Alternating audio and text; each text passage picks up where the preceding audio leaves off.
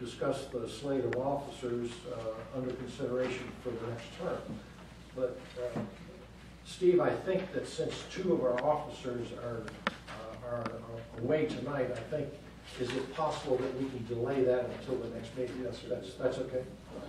Then that's what we'll do.